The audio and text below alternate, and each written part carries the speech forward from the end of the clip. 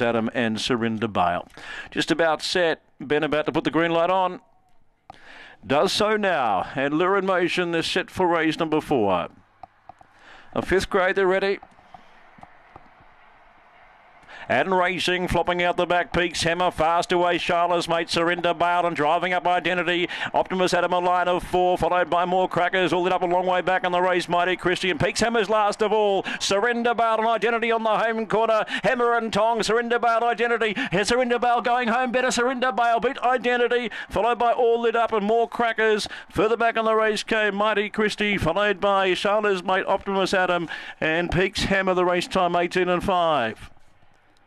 Surrender Bale from the wide draw has rounded them up and uh, Identity shows some pace. Will run second, all it up into third, the favourite, and 2 4. So 8 1 4 and 2, 2 16, 7 69, run home 10 88, and the time 18 and 57 for Surrender Bale.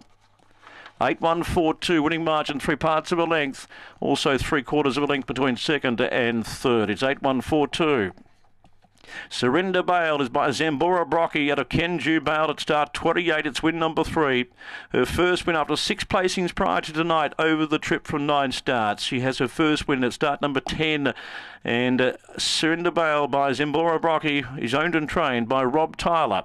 One second identity for Dale Tolmy by Beast Unleashed out of Dana Kaza. And third to four all lit up for Paul Heckle, who made good ground late by Pindari Express. Polly's made 8142 on the fourth.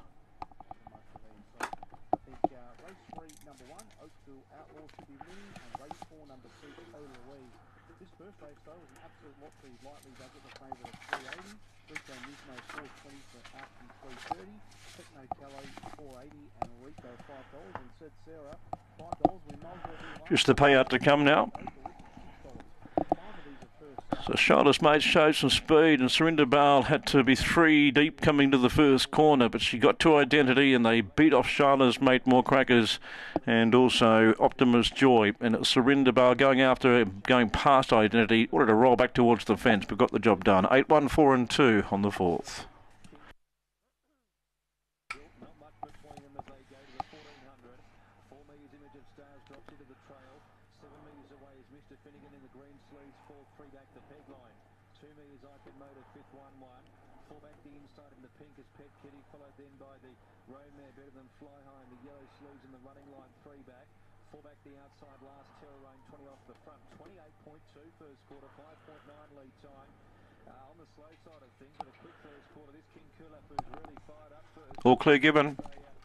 There's the all clear now, right to pay. Up next is the Quaddy First League tonight in 18 minutes, and uh, Fabulous Nath, number three, the opening favourite, at $3.